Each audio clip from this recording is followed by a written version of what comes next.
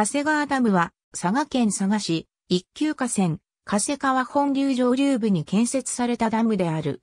国土交通省九州地方整備局が管理する国土交通省直轄ダムで高さ97.0メートルの重力式コンクリートダム。加瀬川の治水と佐賀市やその周辺地域への利水及び水力発電を目的とした特定多目的ダムであり、唐津市にある旧ラギダムに続く2番目の特定多目的ダムでもある。ダムによって形成された人造湖は富士尺投湖と命名され、佐賀県最大の規模を有する人造湖である。土木学会デザイン賞2017優秀賞受賞。建設中建設中佐賀県中央部を流れる加瀬川は古くより灌漑に利用される河川であり、佐賀藩によってたびたびの河川改修が行われていた。だが、台風常習地帯であるために、たびたび水害が発生した。戦後だけでも1991年までの間に20回近くの水害に見舞われていて、特に1949年8月のジュディス、台風では死者80人、重軽傷者251人、堤防決壊219箇所、橋の流出250箇所、床上、床下浸水25,552個という過去、最悪の被害をもたらした。近年では1990年6月の集中豪雨では佐賀市内の被害が大きく、床上浸水1783個、床下浸水12,327個の被害を出している。加瀬川では、おおむね8から10年に一度の間隔で、浸水被害を伴う水害を起こしており、このため1965年に一級水系に指定され、建設省や佐賀県による河川整備が行われ、堤防整備や稼働の直線化などを実施したがその後も水害は発生し、根本的な解決策が求められていた。一方流域に広がる白石平野は佐賀県有数の国葬地帯であり、佐賀藩の財政の基礎ともなった。だが、加瀬川は隣接する上原川などと同じく天井川で渇水になると流量が減少し、収穫に深刻な打撃を与えた。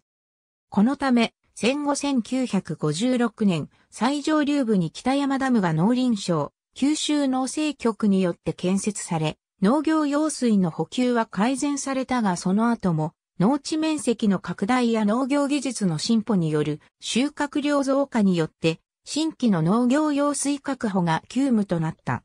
さらに、佐賀市とその周辺地域の人口増加によって、上水道の整備も課題となった。すでに建設されている北山ダムは農業用ダムであり、治水機能や上水道供給の目的を持っていなかった。このため、多目的ダムを建設して、それらの問題を解決しようという機運となり、1973年4月、建設省九州地方建設局は、佐賀郡富士町地点の加瀬川元川に、加瀬川総合開発事業に基づく特定多目的ダムを建設する計画を発表した。これが加瀬川ダムである。この加瀬川ダム建設によって、富士町の160個の住居が水没対象となった。ダム計画発表と同時に、住民はダム建設絶対反対を唱え、加瀬川ダム対策協議会を設置して、環境にダム反対を訴えた。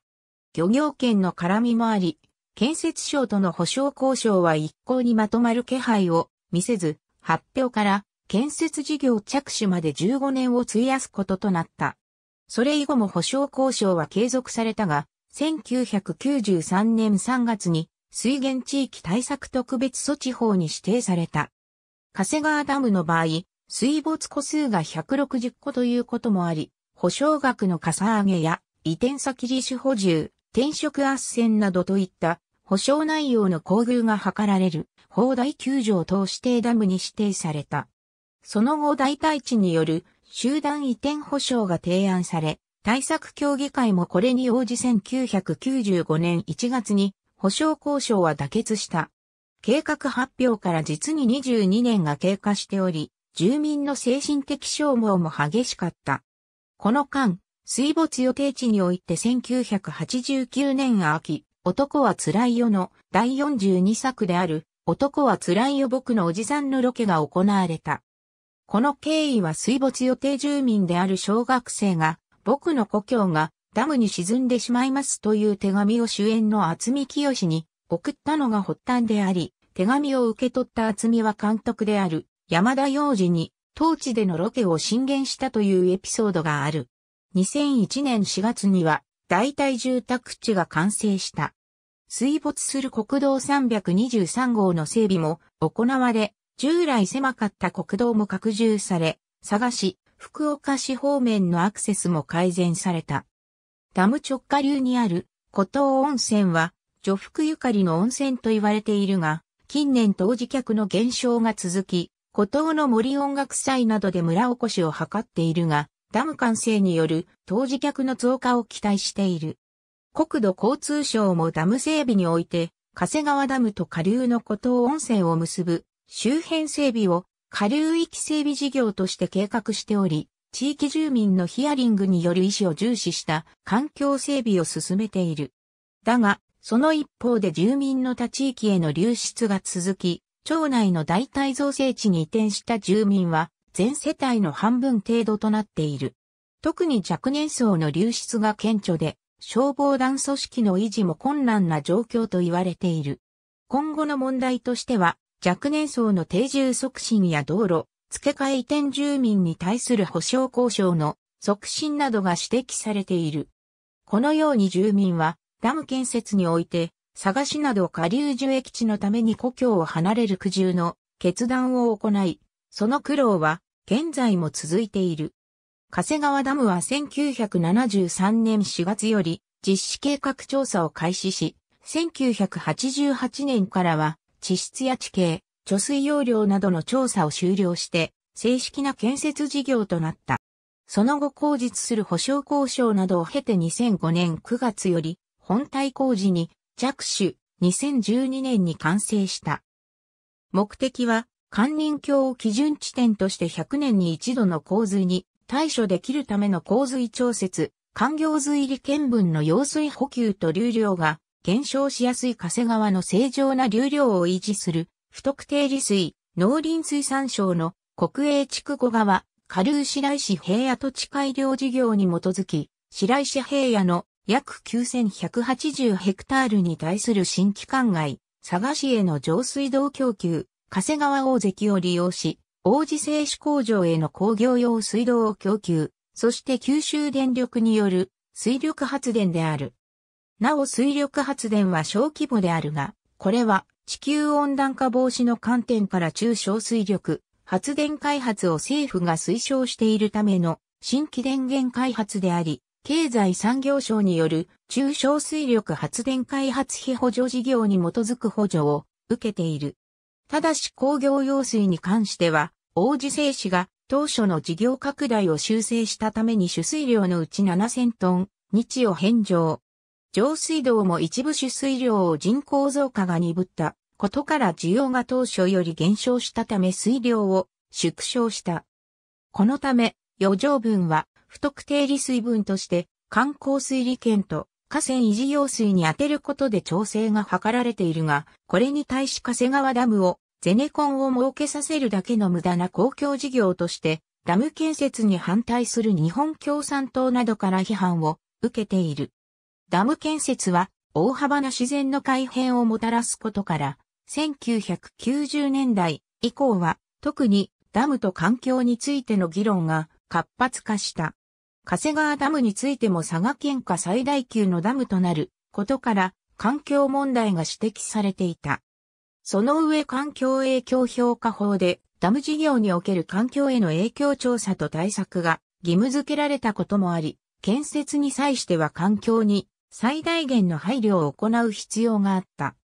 国土交通省、加瀬川ダム工事事務所は環境関連の専門家や有識者を集め、ダムの環境対策や文化財保護、地域活性化を検討、諮問する加瀬川ダム環境検討委員会を設置。委員会は2002年10月に加瀬川ダム建設事業における環境保全への取り組みと題した提言をまとめた。この中では生物保全、水環境の保全はもとより、建設工事に伴う騒音、振動、廃棄物対策、さらに景観や歴史的文化遺産の保全など、事細かに改善項目をまとめ、これの履行を工事事務所に求めた。国土交通省は、この提言に沿った形で、建設事業を進めることとし、自然保護に関しては、杉人工林を自然林に回復させるための植生変更や、休耕田を利用した小動物、昆虫類の生育保全、菊頭コウモリのねぐら整備やカジカガエルの保護を行っている。また、水没予定地の森林をすべて伐採せずに移転し、下流にある国営吉野ヶ里歴史公園に移植する工事を実施している。以前のダム事業では水没予定地内の樹木は伐採の対象にしかならなかったが、可能な限り自然を保護することが委員会提言にまとめられているため、移植を行っている。完成後はダム及びダム湖は公園として整備されるが、従来型のアウトドア施設を有する疑似自然公園ではなく、本格的な自然公園として整備する方針を採用している。この他水没する遺跡の発掘調査を行い、遺跡の発掘物保存も同時に実施している。計画から完成まで39年を費やす日本の長期化ダム事業の一つであり、問題はまだ山積しているが、地域密着型のダムを目指して今後の活用が検討されている。富士尺投湖、加瀬川ダムの人造湖である富士尺投湖は上流にある北山ダムの人造湖、北山港、抜き佐賀県最大かつ北部九州では最大規模の人造湖となった。加瀬川ダムへは国道323号を佐賀市からは北上、福岡市からは三瀬トンネル、北山ダム経由で南下すると到着する。現在本体工事を行っているが、ダム岸の国道沿いには見学のための施設が設けられ、ここより展望台に至ると上流側から加瀬川ダムの前景を望むことができる。また水没する川上川第二ダムの姿も確認できる。直下流には古東温泉、上流には北山湖があり、観光地にも近く、休日には観光客が多く見学に訪れている。最近では、ボート競技の練習拠点として多くのチームが合宿を張っており、第78回国民スポーツ大会ではボートカヌースプリント競技の会場として整備が予定されている。中洲の高級クラブ代、贈賄業者に国交省係長。ありがとうございます。